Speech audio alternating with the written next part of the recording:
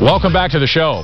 Well, the Wildcats have put together a pretty good relationship with the folks at Fort Riley, the soldiers over there, and again visited this week the 1-7 Field Artillery Regiment. Let's take a look right now.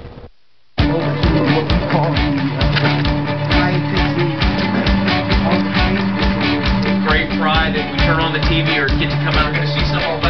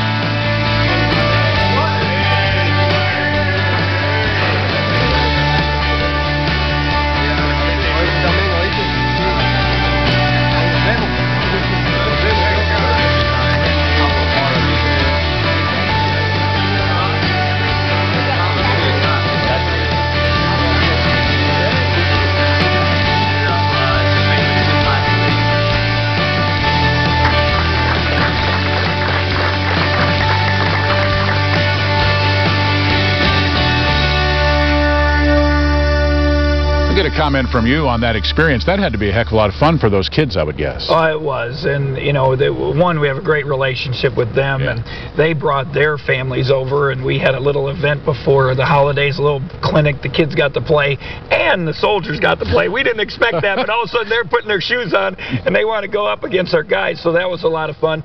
And then to go out there, and you know, we had a long week. Uh, I, you know, they had invited us out. I kind of looked at the schedule. I thought this is good. You know, there's no way you could practice five days in a row at this time of the year. Right. So we did a field trip and a chance to go out there, a day in the life of a soldier, appreciate what they go through, and and and how they serve us. I mean, it, it's it's so special what they do for all of us here, and uh, you know I think the kids and the guys enjoyed it. They got to see the weapons that they play video games, but this is real life. And uh, you know, just see what it's like on the base, and a, a good experience. Hopefully, uh, you know, bring our guys together too. Those little things bring your team together. Little chemistry uh, events like that can help in the long run. And when they were over at the basketball training facility, those soldiers, they really did have a fun, fun time. We enjoyed having them over here. We'll take a break when we come back. Two road trips up next for the Wildcats. Stay with us on the Bruce Weber Show.